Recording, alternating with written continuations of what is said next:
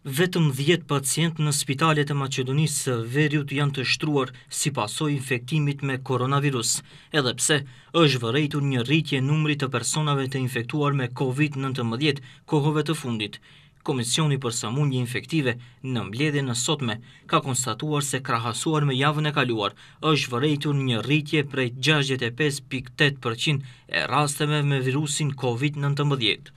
Njëkohësisht, u konstatua se nuk ka rritje të numrit të të shtruarve dhe gjithashtu nuk ka rritje të numrit të pacientëve, të cilët kanë ndërruar jetë nga koronavirusi. Sipas këtyre parametrave dhe duke marrë parasysh trendin e rritjes së rasteve pozitive me Covid nëntëmbëdhjetë në vendet fqinje dhe në botë, kujtojmë detyrimin për të mbajtur maska në ambulanca, spitale, farmaci dhe transportin publik. Nga ky institucion gjithashtu rekomandojnë qytetarët që të jenë të ndërgjegjshëm, të mbrojnë shëndetin e tyre dhe atë publik dhe të zbatojnë masat e përgjithshme mbrojtëse, si maskë mbrojtëse, mbajtja e distancës dhe larja më e shpeshtë e duarve.